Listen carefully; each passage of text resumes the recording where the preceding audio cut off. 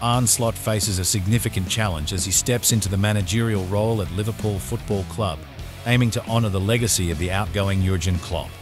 Klopp's era at Anfield was marked by remarkable success, including triumphs in the Premier League, Champions League, FA Cup, two League Cups, the Club World Cup, and the UEFA Super Cup. Slot, the former Feyenoord boss, now shoulders the responsibility of continuing this legacy.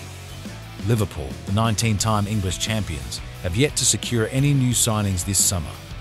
Nevertheless, Slot undoubtedly harbours ambitions of clinching the Premier League and the Champions League in the upcoming season. With key players like Trent Alexander-Arnold and Mohamed Salah in the squad, the potential for success is undeniable.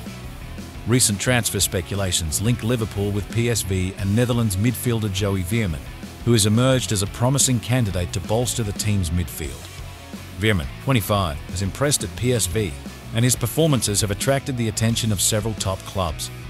According to a report from CaughtOffside, Liverpool is keen on acquiring the defensive midfielder to enhance their options, particularly since Wataru Endo is currently their sole viable option in that position.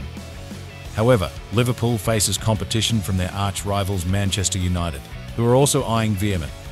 Given the growing Dutch influence at Old Trafford, a bid for Veerman seems logical, especially as an alternative to pursuing Manuel Ugarte. While a specific price for Veerman has not been disclosed, Football Transfers values him at £18.6 million, suggesting a potential cost starting from that figure. Why would Veerman be a smart acquisition for Liverpool? Last season, he was one of the Eredivisie's standout performers, contributing significantly in both defence and attack. Veerman played 29 games, scored 5 goals, and registered an impressive 16 assists. His addition to Liverpool could address the void left by Fabinho, who departed for Al Ittihad 12 months ago for a rumoured £40 million.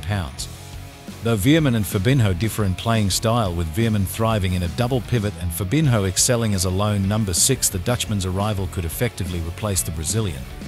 Analysing their stats provides insight into Veerman's potential impact. Fabinho's 2019-20 season saw him average 4.16 tackles and interceptions per 90 minutes, slightly outperforming Veerman's 3.32. However, Veerman excelled in ball recoveries, averaging 7.21 per game compared to Fabinho's 6.8. Veerman's on-ball abilities further highlight his quality. He averages 11.8 progressive passes per 90 minutes, far exceeding Fabinho's 5.58 in the 2019-20 season. Additionally, Veerman delivers 4.91 key passes per 90, compared to Fabinho's 0.82. Contextually, Klopp's direct playing style at Liverpool may have limited Fabinho's opportunities for progressive passes. Incorporating Veerman into Liverpool's squad would introduce a monster midfielder with exceptional ball handling skills, as described by football analyst Ben Mattinson. While Veerman would be most effective in a double pivot alongside players like Endo or Alexis Mac Allister, his presence could significantly enhance Liverpool's midfield, potentially filling the void left by Fabinho and marking a strong start to Slot's tenure at Anfield.